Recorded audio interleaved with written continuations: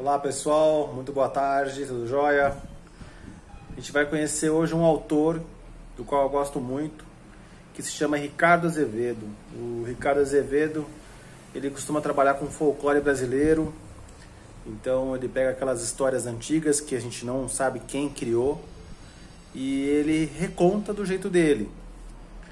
Então tem, tem diversos livros, né, que ele pega cantigas, ele também pega para lendas, né? Lendas antigas, lendas urbanas também, mas é mais o negócio dele é mais são lendas não urbanas, né? Lendas é, rurais e tal, né? É daquele nosso folclore mesmo, saci, cuca e mula sem cabeça e também contos que uma pessoa tenta enganar, passar a perna na morte, né? Para não para não morrer.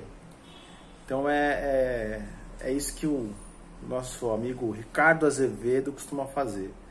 Pegar lendas antigas e contar do jeito que ele gosta de contar. Bom, esse livro aqui eu trouxe para a gente ler hoje do Ricardo Azevedo. Dá para ver? Contos de morte. Não, contos de enganar a morte. Contos de enganar a morte. Então a gente vai ler aí um, um, conto que tem um sujeito que vai tentar passar a perna na morte, que é um ferreiro. Você sabe o que é um ferreiro? Ah, faz coisa de ferro, é isso mesmo, faz coisa de ferro. E aliás tem um ferreiro aí muito legal, né? Um serralheiro talvez, que é o Berbela, né? Que ele faz faz umas obras muito legais aí de ferro. Depois eu mostro algumas que eu tenho aqui em casa do Berbela. Então vou ler para vocês o último dia na vida do ferreiro. Último dia na vida do ferreiro. Vamos lá então. Opa. Último dia na vida do ferreiro. Dizem que a morte sempre foi cheia de truques. Uma vez, por exemplo, apareceu de manhã cedo diante de um jovem bonito, risonho e cheio de saúde que trabalhava na terra. Assustado, o rapaz agarrou a enxada e ameaçou: Se veio para me levar, vai ter que lutar comigo. Sou moço e ainda pretendo viver bastante. Mas a morte foi esperta. Que isso, rapaz, que bobagem, respondeu ela, com voz jeitosa. Não é nada disso, larga essa enxada, vim aqui para lhe dar um prêmio. Prêmio? Que prêmio? Quis saber o outro desconfiado. A morte falava macio, anunciou que aquele era um dia de sorte para o rapaz. Que se ele largasse o trabalho e saísse correndo pelos campos, toda a extensão de terra que conseguisse percorrer seria sua. O moço era forte, imaginou que poderia correr muito e ganhar um monte de terra. Vou ficar rico, pensou ele. Eu topo. E saiu correndo, né? Claro.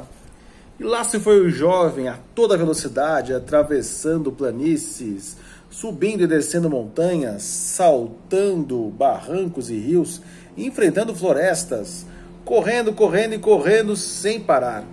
Corria e pensava: tudo isso vai ser meu, tudo vai ser meu. Antes do fim do dia, seu corpo enfraquecido pelo cansaço, infelizmente não aguentou. O jovem sentiu-se mal, tropeçou numa pedra, rolou por um barranco e morreu. A morte então. Está vendo ali, ali? A morte então, dizem, surgiu no espaço, abriu uma cova no chão e enterrou o rapaz. Toma, rosnou ela, segurando a pá. Essa é toda a terra que você precisa para viver. E assim foi. Com essa mesma conversa mole, a morte apareceu um dia na casa de um ferreiro. O homem era jovem e vivia trabalhando o dia inteiro diante de um forno. Mesmo assim, não tinha um tostão. É que aquele moço tinha bom coração e estava sempre repartindo suas coisas com as pessoas que precisavam. Quando escutou a proposta da morte, o ferreiro deu risada. O que vou fazer com tanta terra? A morte fingiu espanto. Você é moço, vai me dizer que não quer ficar rico e poderoso? O jovem pegou um pedaço de ferro em brasa e atirou na cara da morte. Cai fora, desgraçada! Vai embora daqui! Me deixe trabalhar e viver a minha vida em paz. A morte afastou-se resmungando baixinho. Vai esperando que ainda pego você. O ferreiro escutou bem aquelas palavras, mas não ligou. Certa tarde, voltando para casa, encontrou uma velhinha na beira de estrada, sentada num barranco. Por favor, moço, disse ela ofegante, há três dias que eu não como nada. Me arranje um pouco de comida que eu não aguento mais de tanta fome. Na sacola, o ferreiro só tinha um pedaço de pão velho e um pouco de carne. Estava levando para casa para repartir com sua mulher. Na verdade, era a única coisa que tinha para comer. Examinou a velha, ficou com pena. Ele e a esposa eram jovens e podiam ficar uma noite sem comer. Aquela mulher, ao contrário, se não comesse alguma coisa, corria risco até de morrer. Pensando assim, abriu a sacola e deu pão e carne para a velha.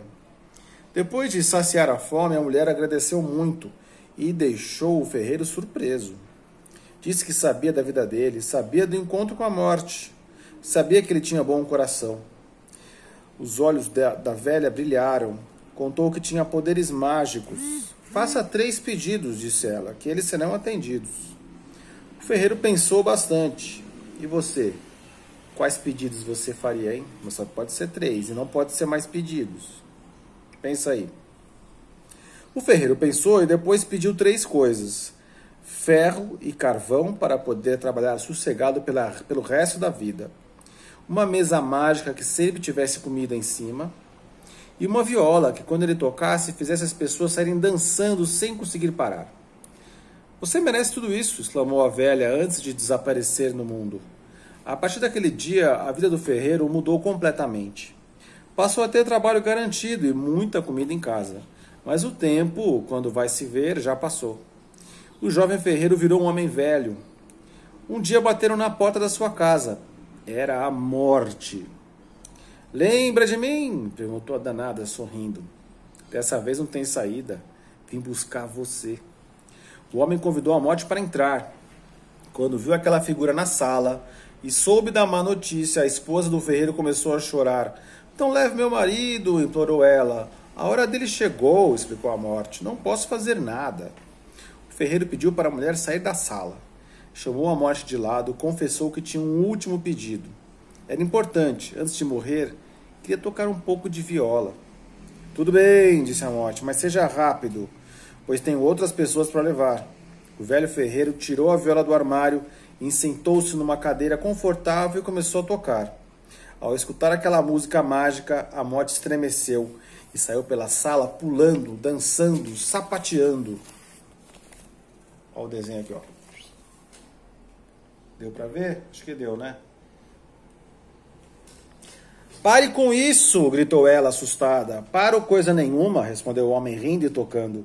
E seus dedos voavam, fazendo vibrar as cordas da viola. A morte, enquanto isso, rebolava, gingava, requebrava descontrolada sem conseguir parar. Pare de tocar essa maldita viola! berrava ela.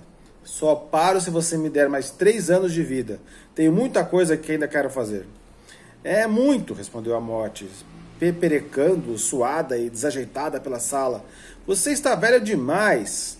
Então me dê dois anos. Tenho lugares para conhecer e amigos para fazer. Não posso, gritou a morte, já sem fôlego. Preciso cumprir minha missão. Além disso, você já viveu demais. O velho ferreiro aumentou o ritmo.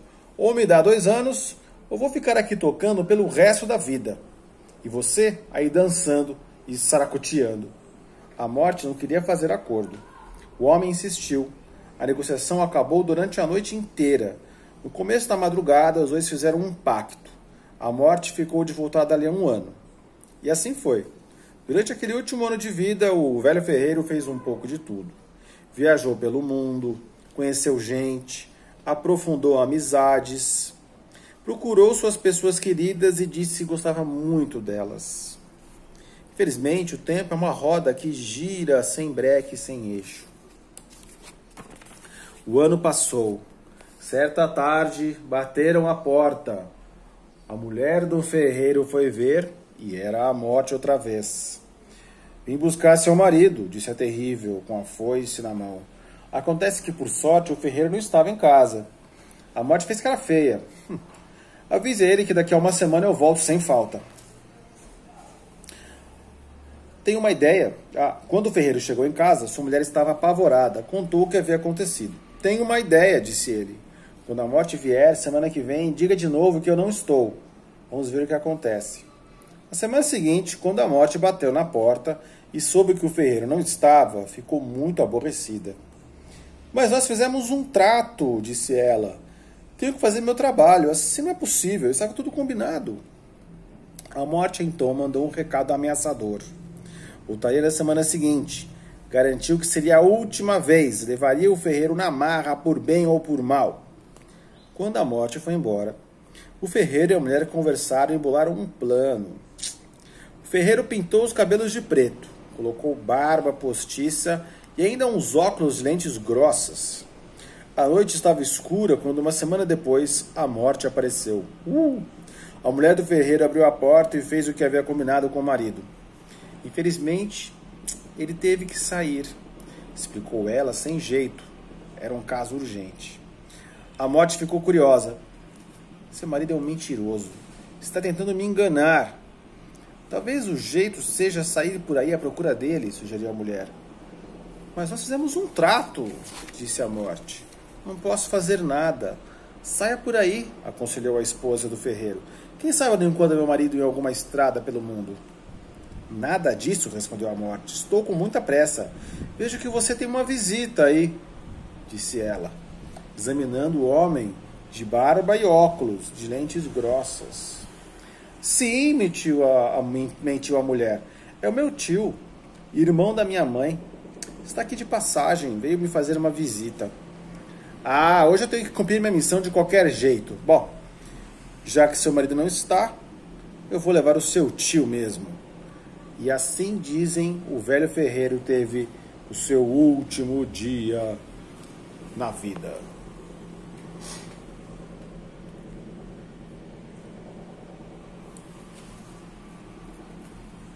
Gostaram? Espero que sim. Então, você viu que os desenhos, né, os desenhos que aparecem no livro são bem diferentes também. E quem faz é o Ricardo Azevedo. É, ele tem, uma técnica que ele pega um pedaço de madeira e com uma goiva, que é uma espécie de faquinha assim, e ele vai cavocando essa, essa madeira e aí cavoca, cavoca a madeira e depois ele pega uma tinta, passa em cima da, da tinta, ah, da, da madeira a tinta, e coloca um papel por cima e aí fica gravado, ele faz uma gravura. E aí fica gravado, quer dizer, você pode pegar essa madeira e fazer diversas impressões iguais, né? Não é mais ou menos? Pega lá o desenho, cavoca a madeira, um desenho, aí você passa a tinta em cima da madeira e coloca o papel em cima dessa madeira com tinta. Aí você vai tirar o papel, vai estar desenhado o que a pessoa cavocou na madeira ali, né? Mais ou menos isso que ele, que ele faz, né? A técnica dele, que é uma técnica também muito antiga, se faz isso há, há milênios, né? E o Ricardo Azevedo gosta de pintar desse, desse, desse jeito. Esse livro aqui é um livro que estava na nossa biblioteca, alguém deu uma, uma zoada brava nele, né? Tá assim, bem rabiscadinho ele é um livro antigo da nossa biblioteca. Desculpa. Mas é um livro que está muito assim judiado, né? Vou mostrar para vocês, por exemplo, aqui, ó. A pessoa pegou e deu uma riscada, né? Bem ali, nada a ver. Por isso que é legal a gente sempre cuidar dos livros, né? Não deixar ninguém zoar os dias da biblioteca, porque às vezes a gente mesmo vai usar, os nossos amigos, nossos colegas, né? E não deixar a criança menor pegar, rabiscar, né? Então é isso. Eu vou deixar também uma, um videozinho para vocês conhecerem mais do Ricardo Azevedo, acho talvez dele falando, ou alguma biografia sobre ele.